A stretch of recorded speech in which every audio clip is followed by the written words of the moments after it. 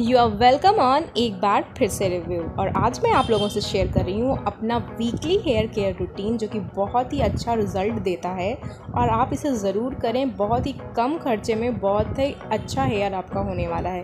तो यहाँ पे मैंने ले लिया है एलोवेरा और इस एलोवेरा को मैंने खुद ही उगाया है गमले में. बहुत ही बेचारा मर सा गया था लेकिन अब उसमें लाइफ आ गई है और इसके लिए मैं बहुत ज़्यादा खुश हूँ.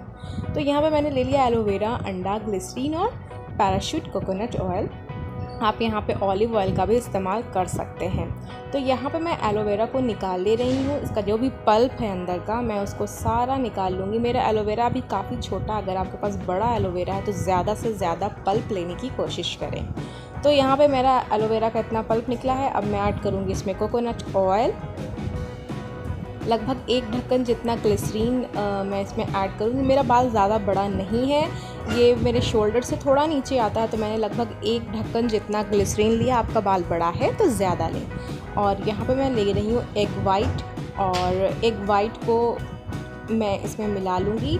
अगर अगर आपका बाल काफ़ी बड़ा है तो आप उसका येलो पार्ट भी ले सकते हैं। येलो पार्ट बिल्कुल फैट होता है, आपके हेयर को नुकसान नहीं करने वाला है। मैंने अभी यहाँ पर सिर्फ़ वाइट पार्ट लिया है।